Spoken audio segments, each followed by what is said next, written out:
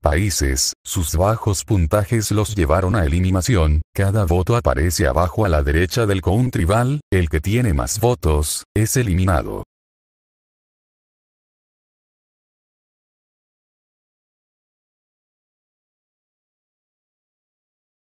Bueno Guatemala, últimas palabras. Valió la pena.